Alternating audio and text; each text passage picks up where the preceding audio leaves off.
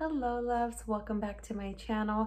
Today I have a pretty fun video. I am to be doing the video if you like this book, you might like this one. So in this video, what I will be doing is recommending a book if you like a specific type of book. So for example, if you like a genre or the topic of a book or an idea of a book, then I will recommend another one that I feel is very similar and you might Again, you guys, thank you so much for sticking around. I hope you guys love this video. If you guys have any other recommendations, please let me know down below.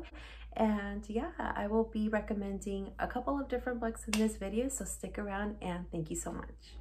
Okay, so it's pretty noisy right now in my place. Um, if you guys hear something turning on and off, it's gonna be my AC, so I apologize for the excessive noise. There's not much I could do about it, but anyway, let's get to the video. Okay, so in this first recommendation, I am going to say, if you like the book It Ends With Us by Colleen Hoover, then you will like the book Swear on This Life by Renee Carlino. So let me get into these books a little bit. It Ends With Us, obviously, is a really big recommendation of mine. I love this book so much. Everybody probably already knows that. But the book centers around this character named Lily. And Lily is kind of going through a new chapter of her life. She's trying to open up a business. She meets a new guy. She's kind of starting off a new relationship. However, she is still kind of lingering around the relationship she had when she was a younger girl. She finds her diary entries where she describes describes this relationship she starts with this young guy named Atlas. And um, we kind of get to see Lily go back and forth between adult Lily and teenage Lily. And um, this book just has everything put together, tied with a bow. And I, I just cannot speak highly enough about this book. But in this book, of course, we get to see Lily go back and forth between adult Lily with a new man um, and teenage Lily reminiscing about her young love. And we also see that Lily is struggling as a teenager and so is Atlas. They're kind of going through a really hard time in their lives. There are a lot of similarities in Swear on This Life. Now, Swear on This Life is a really, really good book by Renee Carlino. I love this book. In this book, Emmeline is actually reading a novel by a author called Jay Colby. I think that's his name. Yes, Jay Colby. Emmeline actually starts to realize that she knows this story because the author is actually Jase, who is Emmeline's teenage love. And in this story, it goes back and forth. Uh, it goes, you know, to the present year of Emmeline with her new boyfriend. And it goes back to the story that Jay Colby wrote where it talks a little bit more about Emmeline and Jase. And of course, in this story itself, again, you see that Emmeline and Jase are going through a really hard patch as teenagers and um, it just kind of goes back and forth between them about what they find in the relationship that they're in as teenagers and what they could have had and of course it goes back to the present time where Emmeline is now with her new boyfriend and she starts to debate what is it that she really needs to do. In these stories, I start to realize that they they have a lot of things in common. And again, if you like It Ends With Us, then you might like Swear on This Life. Okay, I just realized I don't know how to say this author's name and I can't Google it because I'm using my phone to record this video. But if you like the book, Everything I Never Told You by Celeste, I'm going to say her last name is either NG or Ink. Not sure. You might like He Will Be My Ruin by K.A. Tucker. So in this story, Everything I Never Told You, the story centers around the Lee family who find out that their daughter Lydia has died and in this story, you get to see the family uncover secrets, secrets that they they are all keeping, and secrets that, you know, Lydia could have killed Lydia. They don't really know if Lydia killed herself or if it was a murder, and they're trying to figure this out in this book.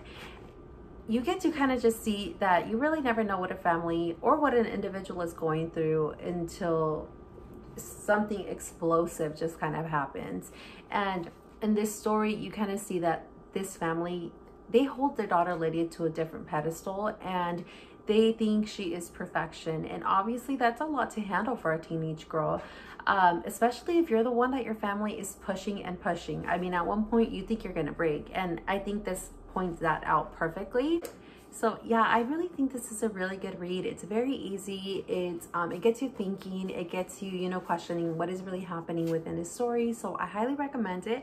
But again, if you like this book, you might like K.A. Tucker, He Will Be My Ruin. We get to see Maggie go to New York after her best friend Celine has died. Maggie has to kind of uncover what really happened to Celine if she committed suicide or if she has been murdered. Very similar to Everything I Never Told You, Maggie has to kind of figure out what Celine was really trying to hide.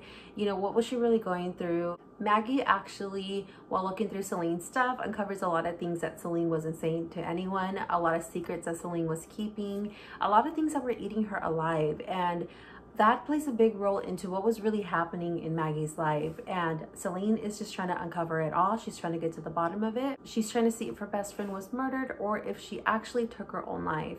And um, again, we get to see that sometimes you don't really know what someone is going this through. got my heartbeat racing. So I highly recommend, again, both of these books. So the next book recommendation is going to be if you like Flowers in the Attic by V.C. Andrews, then you will like Forbidden by Tabitha Suzuma. So I'm pretty sure a lot of you guys already know V.C. Andrews' Flowers in the Attic. It is a heartbreaking story. Um, it is the first one out of, I believe, four or five. But in V.C. Andrews' Flowers in the Attic, we get introduced to, the, um, to a family um, and the family loses their dad so that kind of forces the children and the mom to move back to the mom's parents' house where the children get locked up in a basement and they have to survive there. Um, in this book, you see the two eldest kids, Chris and Kathy, who kind of have to become parents at such a young age. And a lot of things happen in this book, and it's really, really sad and it's devastating. Now, if you're not comfortable reading any sort of incest or abuse, then I don't recommend these books that I'm going to be, well, Flowers in the Attic or um, Forbidden, because they both include that. So just aware, be aware of that. But if you like uh, Flowers in the Attic, then you will definitely like the book Forbidden. Okay, so then we have Forbidden. Forbidden is about, again, a family. Um, you have Logan and Maya who are teenagers having to step up to fulfill their parents' roles because they don't have a dad and their mom is an alcoholic. Um, their mom, I believe, it's been years since I read this book, but I believe their mom either passes out for a couple of days or doesn't come home for a couple of days. But the whole point is that she's not there. She's not present. So um, she's not taking care of them and Logan and Maya have to step up and take care of their younger siblings. And they just kind of see, you know, what they just unfortunately have to step in and take the role of parents and make decisions that no teenager should do. Um, and again, it's very, very similar to V.C. Andrews. It's heartbreaking, it's devastating. And unfortunately, these books, at least this one, I feel like is very realistic. I'm pretty sure a lot of people have gone through living at home with no parents or, or alcoholic parents. And it's devastating, you guys, to see, to read what these kids are going through. It has incest, it has abuse. So if you guys are not comfortable with that, don't read these two books.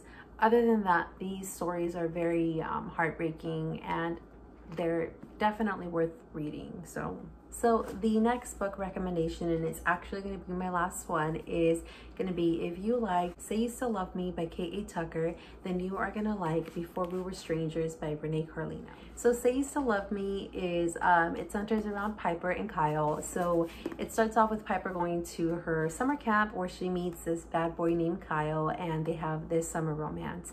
At the end of summer, Kyle completely cuts contact with Piper and they no longer keep in touch for years to come.